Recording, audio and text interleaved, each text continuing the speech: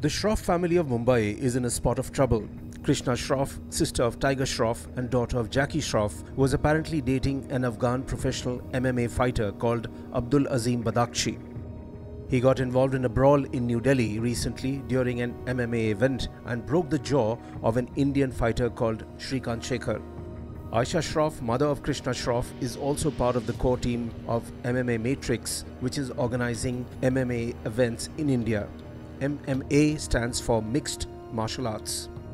Badakshi, known as the Afghan Lion, is on the run. He's reportedly holding two passports. There is a demand to ban him globally. The Delhi police is apparently looking out for him.